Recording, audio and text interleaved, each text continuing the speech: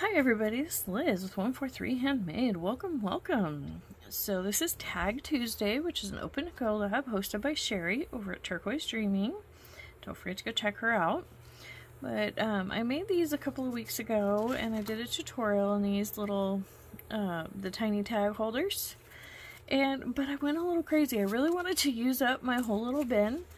Um, if you caught that video, you'll know that this was quite a bit fuller. Um, there, it's it's pretty much gone. I have these specialty ones, but I have um, I kind of have them in two separate piles because that's going to go for one journal. It's another journal, and then I do have these left that I don't have assigned to anything. But you know, I feel good about how much I worked through though, and um, I just wanted to do a quick share of what I did with them.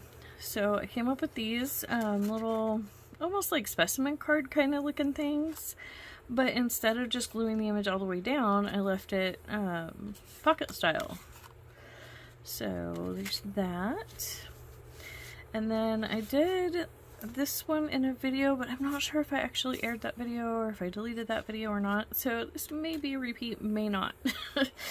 um, so but this is just it's just a piece of cardstock with a piece of pretty pretty paper glued onto it just so you know to create the two little pockets.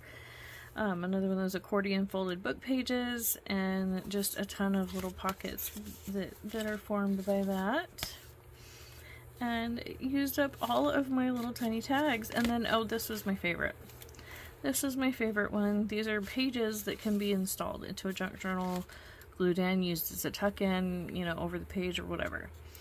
Um, but I plan to install them in journals.